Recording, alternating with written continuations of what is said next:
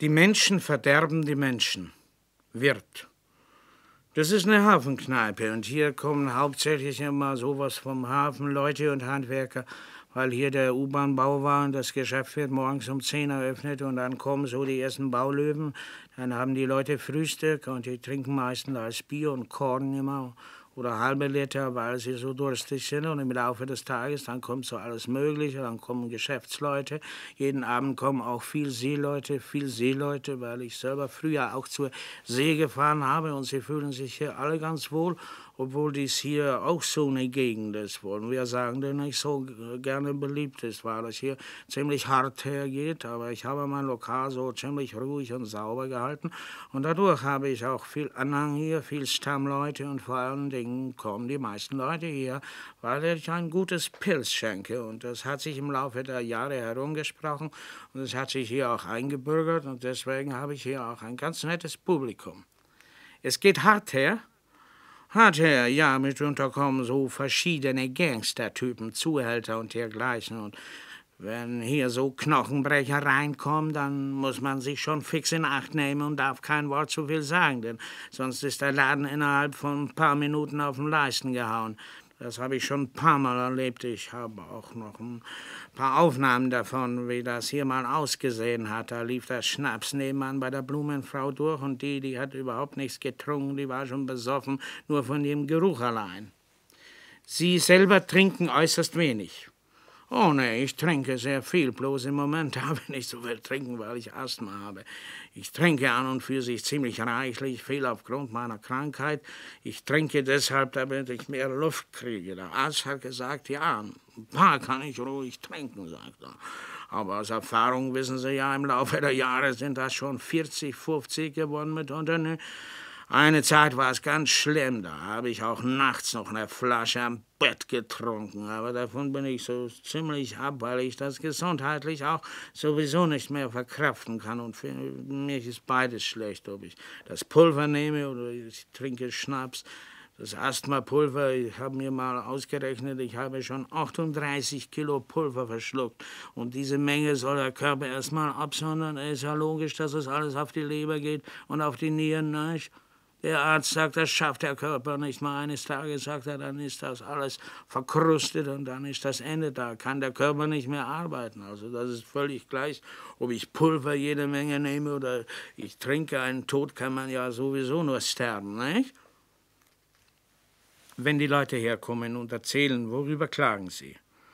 Ah, hier kommt doch schon Jammer vor, aber das sind meistenteils, da haben sie einen moralischen, meisten, meistenteils ist das viel angebracht bei Frauen, weil die dann mal so ein bisschen Liebeskummer haben mit ihrem Suppenkasper da, naja, und das gibt sich aber alles wieder in ein, zwei Tagen hat sich das alles wieder eingeregelt und ist auch wieder dasselbe, nicht?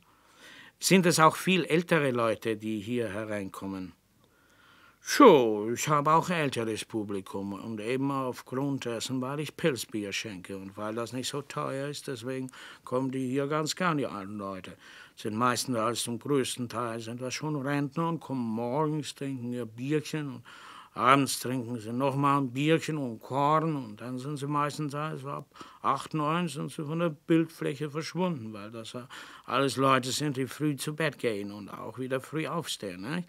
Morgens könnte ich dann schon wieder um acht aufmachen, dann sind die schon wieder auf die Beine. Aber sonst im Großen und Ganzen kann ich hier nicht klagen. Wann sind die Gäste am schlimmsten? Kellnerin. Wenn sie besoffen sind, dann sind sie am schlimmsten.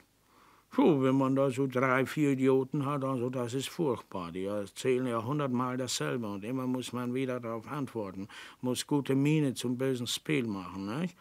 Aber es sind ja auch meistens als Leute, die man kennt. Und da mag man auch nicht so sein. Wie lange sitzen Sie schon hier? Wie lange ich hier sitze? Na, seit ungefähr, sagen wir, fünf Minuten vor sechs. Wie lange werden Sie noch hier sitzen? Ich würde sagen, so ungefähr bis Feierabend. Warum sitzen Sie hier? Weil ich Durst habe. Aus keinem anderen Grund?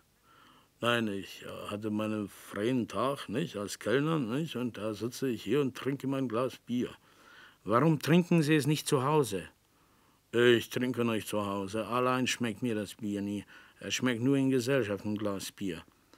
Wie alt sind Sie? 50. Verheiratet? Nee. Warum? Die Nase voll. Warum?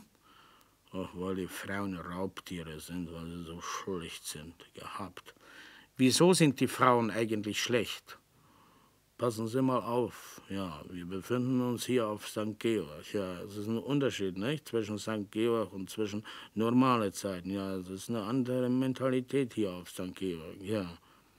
Wie ist denn die Mentalität hier? Die Mentalität ist ganz ehrlich gesprochen, die meisten sind Huren. Gäbe es da nicht äh, die Möglichkeit, dass man in ein anderes Viertel geht und sich da eine holt, die keine Nutte ist?